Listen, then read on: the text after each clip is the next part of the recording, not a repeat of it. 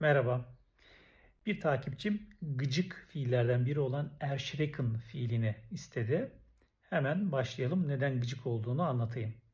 Erschrecken iki anlamı var. Birincisi korkutmak. Nasıl korkutmak?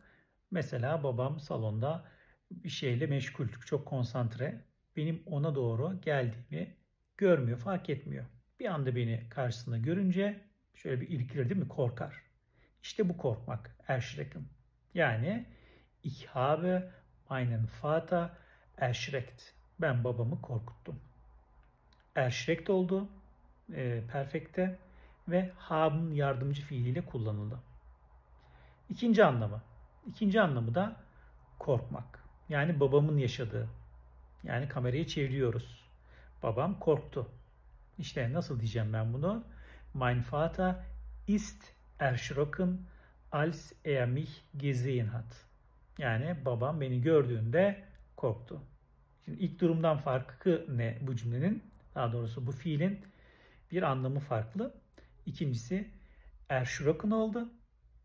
Ya ve sein yardımcı fiil ile kullanıldı. İşte gıcık olan fiillerden biri demekle bunu kastediyordum. Okey? Şimdi sıra sende. Sen de mesela babana de ki seni korkuttum mu? Cevabını yorumlara yazabilirsin.